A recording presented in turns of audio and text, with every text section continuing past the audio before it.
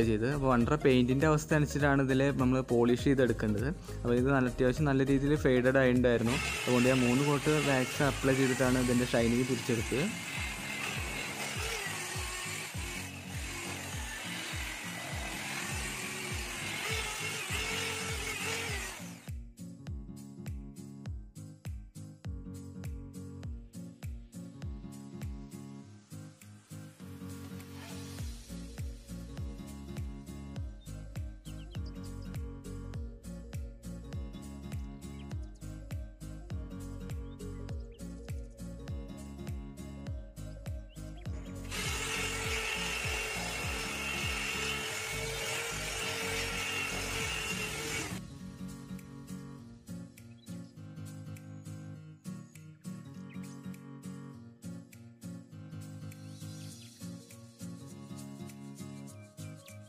അപ്പോൾ നമ്മൾ വർക്കെല്ലാം കംപ്ലീറ്റ് ആയിട്ടുണ്ട് പെയിന്റ് നല്ല രീതിയിൽ ഷൈനിങ് വന്നിട്ടുണ്ട്.